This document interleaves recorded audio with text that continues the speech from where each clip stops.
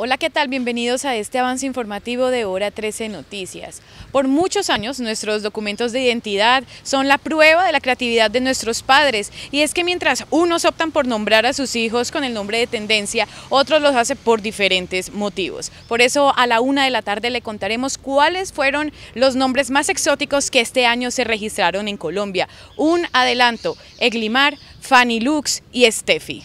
Todo esto y mucho más a la hora 13, la hora de las noticias.